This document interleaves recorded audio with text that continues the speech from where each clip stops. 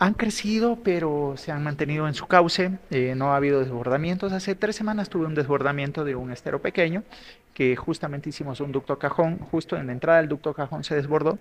El ducto cajón está en un proceso de prueba, eh, está en, entrega eh, provisional de la obra, estamos viendo las falencias, para eso es la entrega provisional.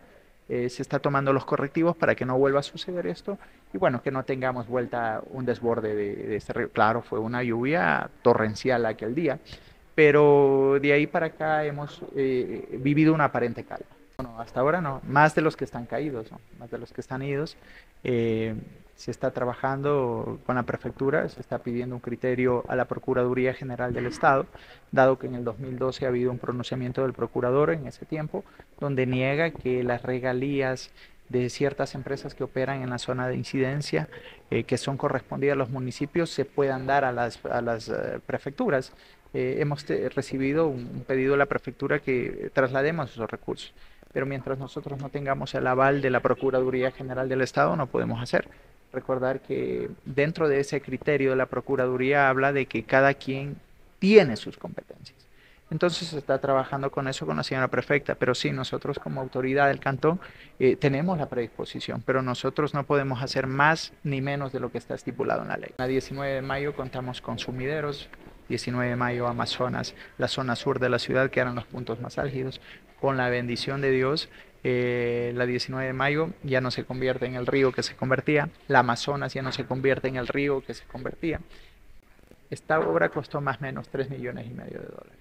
Para la producción tenemos tres plantas nosotros, una grande, que es la moderna, eh, tuvimos que parar el suministro en las dos pequeñas, eh, pero luego ya pasado el mediodía se normalizó la producción de agua potable. Fuertísimo, fuertísimo. El trabajo que se ha hecho ha sido titánico titánico.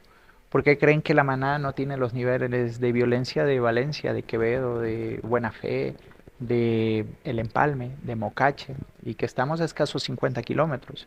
Valencia a 14 kilómetros. Es porque, primeramente, esta autoridad no ha salido a pactar con delincuentes.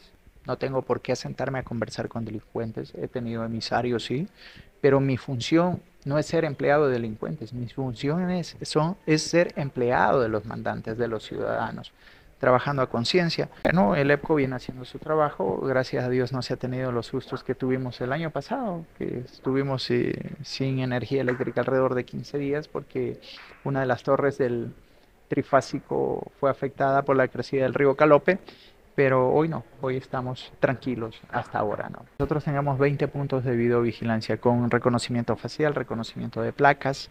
Eh, tenemos la videovigilancia que está operada por el Cuerpo de Bomberos para auxilios, primeros auxilios en accidentes, con natos, Policía Nacional 24/7 eh, y gente del municipio, ¿no? Donde vemos nosotros un perfil sospechoso en, en las áreas que tenemos eh, cobertura con la sala de videovigilancia, pues inmediatamente va una patrulla móvil a hacer el cacheo correspondiente. Gracias a esto nosotros hemos podido eh, pasar a las instrucciones fiscales, videos, a diario me llegan videos para seguir pudiendo aportar. Esto ha sido de magnífica importancia. De hecho, vamos allá a empezar la segunda fase del sistema de videovigilancia, donde también vamos a conectar ya a las dos parroquias, Pucayacu y Guasaganda, y a conectar también a la zona de influencia que es mayormente vulnerable para nosotros, como es las colonias.